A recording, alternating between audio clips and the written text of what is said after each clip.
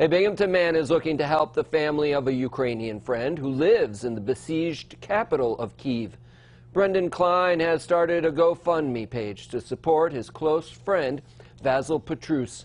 Klein says Petrus lives in an apartment building in Kiev that was struck by Russian rockets.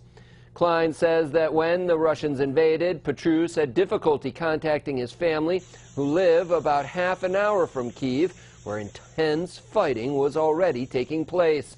Petrus was able to reunite with his mother and siblings, and they're making their way west toward Poland.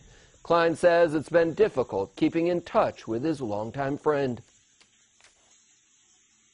Sometimes you have to wait hours or days to make sure that you know these people, your loved ones, family members, people you care about, are alive. So um, it's incredibly nerve wracking, um, and uh, yeah, uh, just have to stay positive.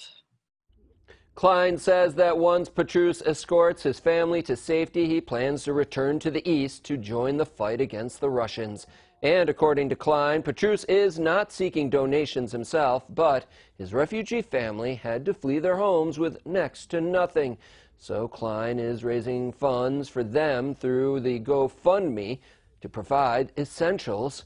You can find a link at binghamtonhomepage.com.